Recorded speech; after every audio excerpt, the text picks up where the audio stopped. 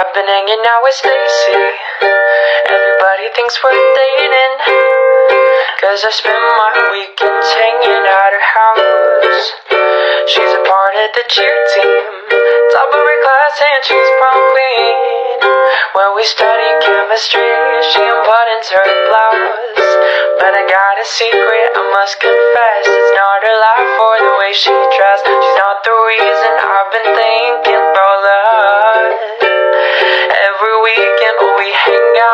lose my cool when he's around. Then I don't know if this is just a crush. How do I find the words to tell her? I'm in love with Stacy's brother.